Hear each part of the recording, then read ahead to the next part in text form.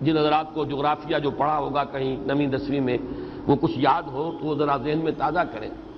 ہماری زمین جھکی ہوئی ہے چھیاسٹھ درجے کے زاویے پر، جس کا نتیجہ یہ نکلتا ہے کہ جب یہ سورج کے گرد خود چکر لگاتی ہوئی سورج کے گرد چکر لگا رہی ہے، یہ زمین، یہ فضا کی رقاصہ۔ رقاصہ کے مانند ہے یہ زمین، یہ فضا کی رقاصہ۔ آدم نو کے انتظار میں ہے۔ احمد ندیم قاسمی نے کبھی کوئی غزل کہی تھی، شعر بڑا پیارا ہے یہ۔ یہ زمین، یہ فضا کی رقاصہ آدم نو کے انتظار میں ہے۔ کوئی نیا آدم آئے، یہ آدم تو بڑا بوسیدہ ہو گیا، فرسودہ ہو گیا، بہت پستیوں میں گر گیا۔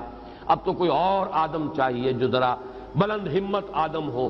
ایک ایسا انسان آئے دنیا میں جس کے اندر عظیمت ہو، پختگی ہو۔ خیر، وہ ایک شعر کے حوالے سے عرض کر رہا ہوں۔ تو سورج جو ہے، وہ کبھی آپ کو معلوم ہے کہ وہ جاتا ہے خط سرطان تک، پھر وہ نیچے اترتا ہے۔ پھر خط استوا کو کراس کرتے ہوئے پھر جاتا ہے خط جدی تک۔ پھر وہ ابھرنا شروع کرتا ہے۔ پھر وہ اکویٹر کو خط استوا کو کراس کرتا ہے۔ ایک سال میں ایک سائیکل پورا ہوتا ہے۔ گویا کہ ایک مرتبہ وہ شمال میں جاتا ہے خط استوا سے اور خط سرطان تک پہنچ گیا۔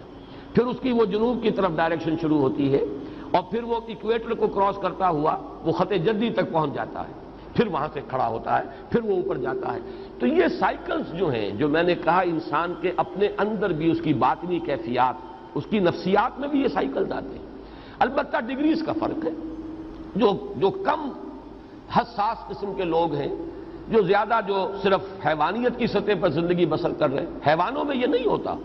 لیکن یہ کہ انسانوں میں جو حیوانیت کے قریب ہوں گے، بے حس قسم کے لوگ ان میں یہ جو اپ اینڈ ڈاؤن ہے، یہ بہت کم ہوگا، نہ ہونے کے برابر۔ جو زیادہ حساس ہے ان میں، اس کا ایمپلیٹیوڈ جو ہے بڑھ جائے گا، اونچائی بھی اور نیچائی بھی۔ لیکن ایک حد تک رہے تو انسان نارمل ہے۔ اس کے لیے در حقیقت یہ تشویش ذہن میں آئی تھی کہ سورج اگر خط سرطان سے اوپر چلا جائے اور اگر وہاں سے بھی ورٹیکل جو شعائیں ہیں وہ پڑنے لگیں قطب شمالی کی طرف، تو سمجھ لیجیے کہ دنیا ختم ہو جائے گی۔ اتنا برف پگھلے گا کہ پورا گلوب جو ہے فلڈ ہو جائے گا پانی سے۔ فلڈڈ ہوگا پورا۔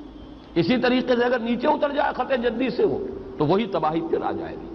اس لیے کہ وہ جو منجمد جو جنوبی ہے بحر منجمد جنوبی، وہ اگر کہیں پگھل جائے، تو پھر وہی صورت ہوگی کہ جو، تو معلوم یہ ہوا کہ ایک حد تک یہ سورج کی سورج کی جو سائیکل ہے، اگر یہ سرطان سے جدی تک رہے، تب تو ہے عافیت اور خیریت۔ زمین پر جو یہ حیات دنیاوی ہے، حیات زمینی، اس کا سلسلہ قائم رہ سکتا ہے۔